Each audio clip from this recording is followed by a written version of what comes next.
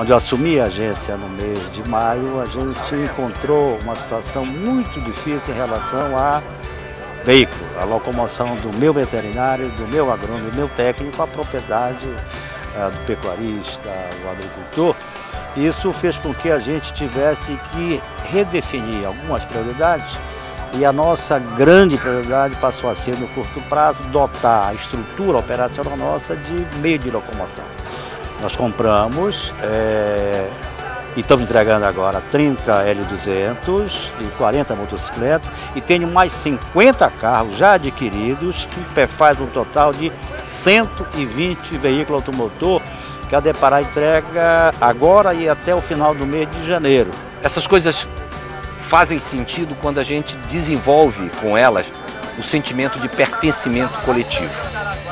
O Brasil ainda está por construir de forma decisiva e definitiva a ideia do público como algo que todos contribuem para que ele exista, que todos têm o direito de usar e todos têm o dever de cuidar.